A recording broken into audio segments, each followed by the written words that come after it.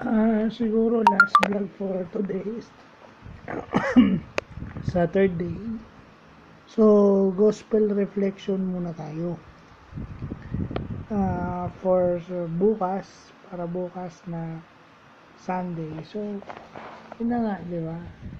Ang ano dun is yung ah, pagiging post-conventional, yung paggawa mo ng mabuti. Di ba? Tayo ba ay humahabol sa biyaya o dahil sa kailangan nating gawin?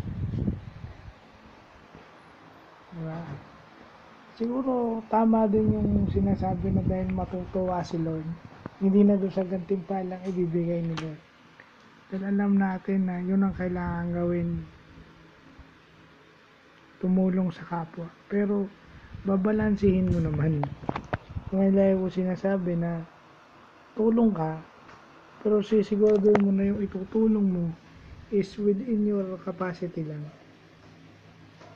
Saka dapat, yun na yun, ah, yung sinasabing hindi ka mag-aantay ng kahit na ano, which is alam mo ng karamihan, pero ah, marami pa rin ng alam nyo na, after pa rin dun sa in return.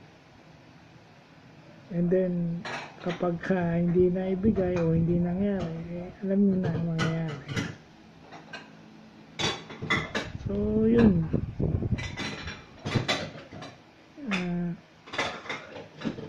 yung ginagawa mo yun, hindi dahil or anything, dahil yun ka. Ginagawa mo yung mga ginagawa mo pagtulong sa kapwa dahil ikaw yun as matulungin na tao. So, yun yung ano ng gospel ngayong ah ngayong araw na para bukas. July 2 ah 2020 20, July 2 2022 munti lang pa ako magkamali. So na kasi sa dami ng iniisip ng tao ngayon tutulong ba sila? Yun na nga rin isa pa. Despite may problema ka ikaw pa rin ay nakakatulong sa ibang tao. Kumbaga nadadamayan mo yung ibang tao despite na may mga problema ka. Yun ang tema rin ng gospel ngayon. Nakikiisa ka dun sa hirap ng mga tao. So yung sinasabi nilang empathy. Marami ang nakakaalam ng definition o logical explanation ng empathy pero yung paggawa nun and yung effective effective appreciation nun doon kulang. Marami nakakaalam ano ibig sabihin. Logically, cognitively kung ano yung empathy.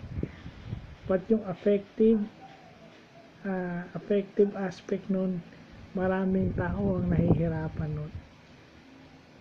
So yun lang po